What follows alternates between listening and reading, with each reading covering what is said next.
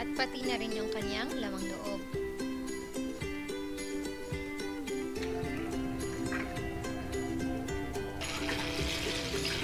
Hugasan din natin siya para matanggal yung mga natitira pa.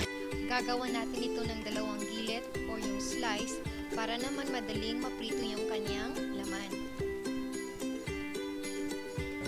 Pagkatapos niyan ay lalagyan natin ito ng asin pati na yung kanyang lutuan.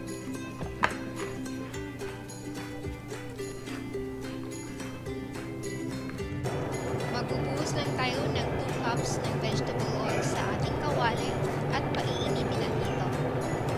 Saka natin iprito yung ating carrot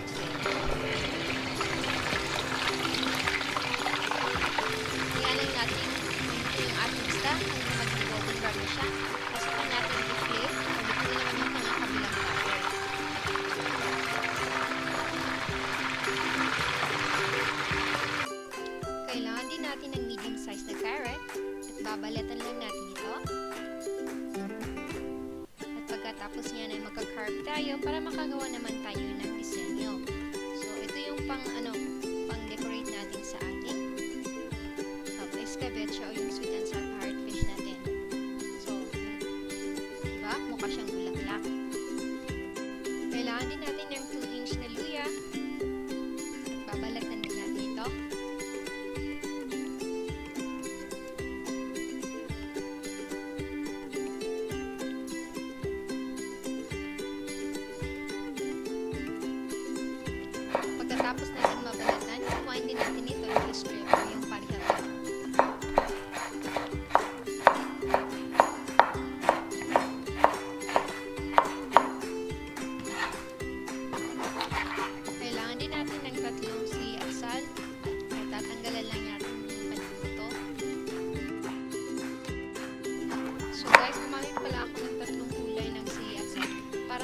para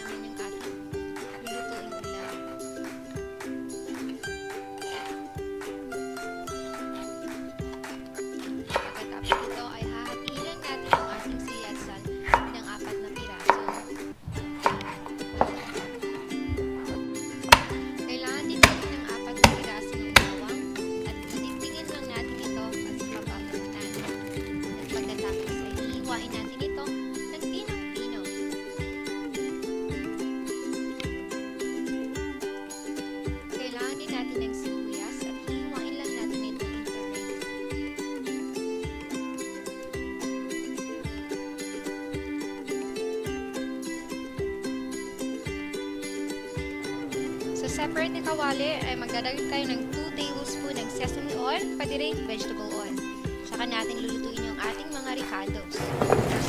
Magigisa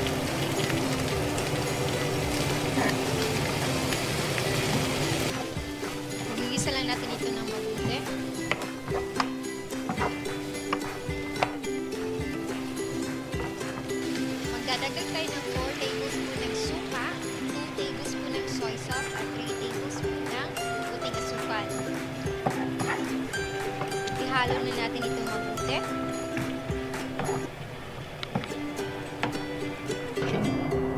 Para maging malapot yung ating sauce, magdadagdag tayo ng 1 teaspoon ng cornstarch at haluan natin ito ng 2 tablespoon ng tubig.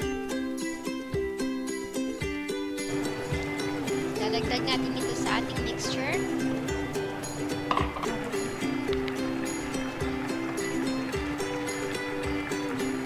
Lang natin itong kumulo or hanggang maging thicken na yung ating sauce.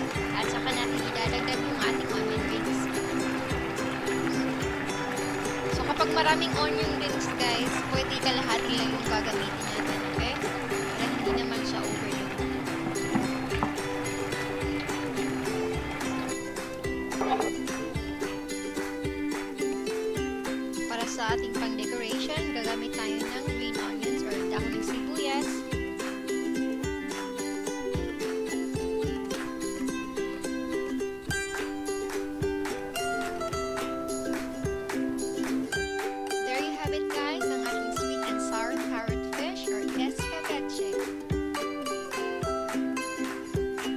Sa mga bagong video guys, huwag kalimutan mag-subscribe sa aking channel, Kusinera.ph at pati na rin sa aking Instagram account.